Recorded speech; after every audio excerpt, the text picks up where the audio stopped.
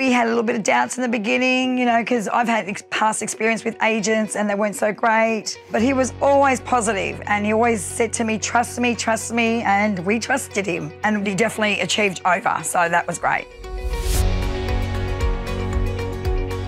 My name's Sophie. This is my in law's property. We had the auction on Saturday and we had a good result at the auction. So we chose Bruce, which is from Buxton. We did sit down with three agents. And what I found with Bruce, he was very prepared, where a lot of them weren't. We knew exactly what we were faced with the campaign. And it was very important that he did say to me he was going to be the face of the campaign. And he was here every time. I watched a couple of videos of his auctions and I noticed that he, he's in there, he's working the auction. And I sort of liked that. And I thought that was good. He was just positive and he just said how it was. Every time there was an opening, he would let us know how it would go afterwards. We'd get a weekly report. There was contact every day, so we knew exactly what we were faced with the campaign.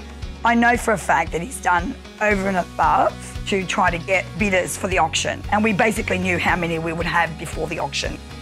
It all turned out fantastic because of Bruce.